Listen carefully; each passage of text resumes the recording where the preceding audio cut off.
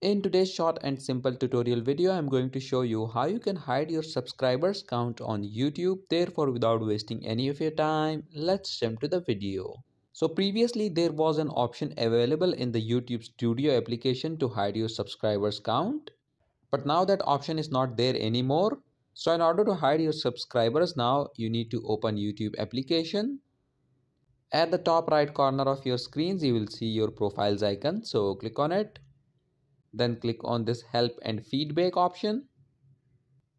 Click on send feedback. Click on get started. Now in this box you need to briefly state the issue that you are facing. I would suggest that you just copy paste whatever i'm writing here. I'll also put this paragraph in the description below so you guys can just copy paste it from there. Once you have stated down your issue all you have to do is to click on the send option and once you click on send within the next 24 hours your subscriber count will be hidden.